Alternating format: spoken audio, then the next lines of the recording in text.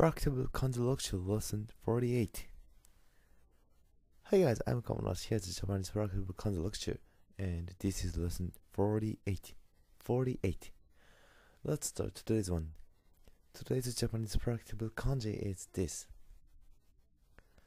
Main meaning of this kanji is red. In onyomi reading, you can read seki, shaku.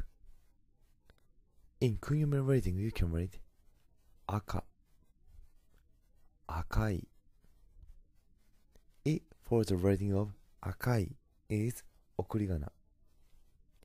In Japan, we study the kanji particularly at the elementary school. Example kanji was akairo, red color, akachan, baby Example sentence of this kanji. あの赤ちゃんは彼の息子だ。The baby is his son. How was the lecture? That's all for today. Thanks for watching and see you tomorrow. Thank you for your watching.